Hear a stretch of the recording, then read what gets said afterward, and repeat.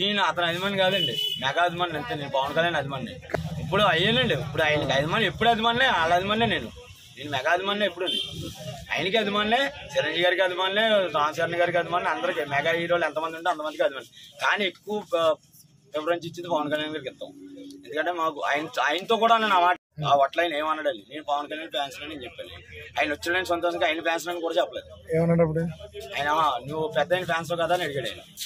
పెద్ద ఆయన fans first అండి. తర్- తర్వాత పవన్ కళ్యాణ్ షిఫ్ట్ అయిపో నేషనల్గా మనం ఎలా మాట్లాడుతాం అలాగే మాట్లాడండి ఆయన మాతోని. అసలు పవన్ కళ్యాణ్ ఫ్యాన్స్ అయినప్పుడు పెద్ద ఆయన ఫ్యాన్స్ కదా అని అడిగాడు ఆయన. పెద్ద ఆయన ఫ్యాన్స్ ఒకప్పుడు అండి తర్వాత పవన్ కళ్యాణ్ గారి షిఫ్ట్ అయ్యండి అని అడిగాం అంతే ఆ మాట. పవన్ కళ్యాణ్ ఫ్యాన్స్ అయినప్పుడు పెద్ద ఆయన ఫ్యాన్స్ కదా అని అడిగాడు ఆయన. పెద్ద ఆయన ఫ్యాన్స్ ఒకప్పుడు అండి తర్వాత పవన్ కళ్యాణ్ గారి షిఫ్ట్ అయ్యండి అని అడిగాం. అంతే ఆ మాట. ఇంకేమన్నదా ఇంకేం అనలేదు ఏమన్నారు మరి? అవునా? సరేనా? అయితే అన్నారు అంతే. ఆ పొయ్యి మంటెట్టుకున్నాను కూర్చుండి. డబ్బడబ్బొచ్చి మరి కావాలి ఆగి ఆగిన తర్వాత మా ఓడు ఆ కురగడ ఉన్నాడు కదా మా ఆయన గారు అబ్బాయి. అంటే రిలేషన్ అబ్బాయి అక్కడ నుంచి ఉండడం మా దగ్గర ఏమి లేవు అయిపోయినాయి. దోశ పిండి ఉంది అంతే. అయితే ఆయన వచ్చి అసిస్టెంట్లు ఉంటారు కదా పక్కనే. వాళ్ళు వచ్చి దో దోశలు టిఫిన్ ఉంది అన్నారు. లేదండి మా దగ్గర మూడు కార్లు అయినాయి కదా. టూరిస్టులు వెళ్తారు మాకు బాగా ఎక్కువ పైకి.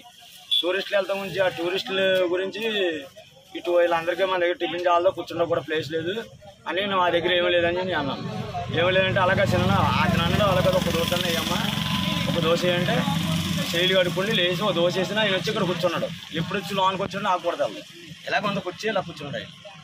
కూర్చుండి వచ్చి కూర్చున్న తర్వాత నేను లోనికి వచ్చి ఆయన గుర్తుపట్టలేదు. అందుకని దోశ వేసాను వేసి ఇచ్చేసాను ఆయన గుర్తుపట్టలేదు.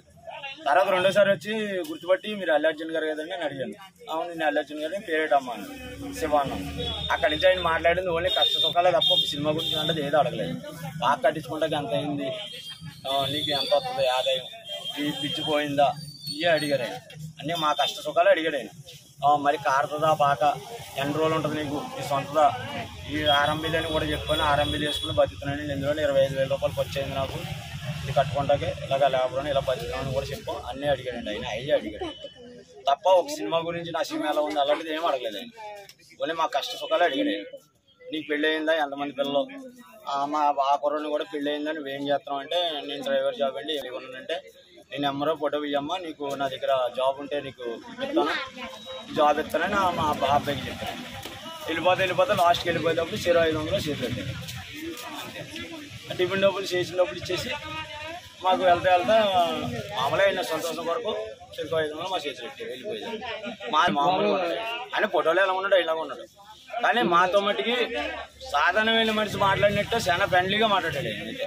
మేమైతే మేము ఈ లెవెల్లో నవ్వుతున్నామనండి ఏమనుకుంటా అనుకుంటే మేము మా అనుభూతి పత్తితో చూసాం తప్పటి అంత పెద్ద హీరో అంత క్లోజ్గా మాట్లాడతాం. జనం ఎక్కడ చూడమండి మేము. నిజంగా మాకు అంత సంతోషం. మేమైతే జనం మర్చిపోలేము దీని అతను అభిమాని కాదండి. మెగా అభిమాని అంతే నేను పవన్ కళ్యాణ్ అభిమాని ఇప్పుడు అయ్యానండి. ఇప్పుడు ఆయనకి అభిమాని ఎప్పుడు అభిమానే ఈ వీడియో కనుక మీకు నచ్చినట్లయితే లైక్ చేయండి షేర్ చేయండి. సబ్స్క్రైబ్ కండి. చూస్తూనే ఉండండి. One Way News.